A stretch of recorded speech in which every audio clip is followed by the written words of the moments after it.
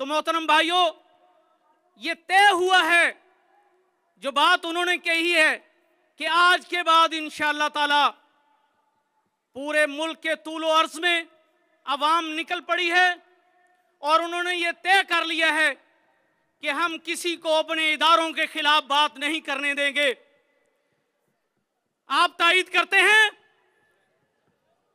मोहतरम भाइयों ये हमने तय किया है, अपने अवाम के साथ वादा किया है इन ताला, कि किसी को अपने इदारों में नकब नहीं लगाने देंगे और ये इदारों को तकसीम नहीं करने देंगे।